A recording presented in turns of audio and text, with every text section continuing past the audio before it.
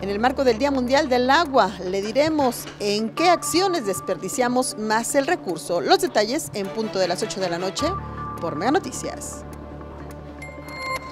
Hoy es el Día Mundial del Agua. ¿Cuántos litros de agua gastan diariamente los laguneros?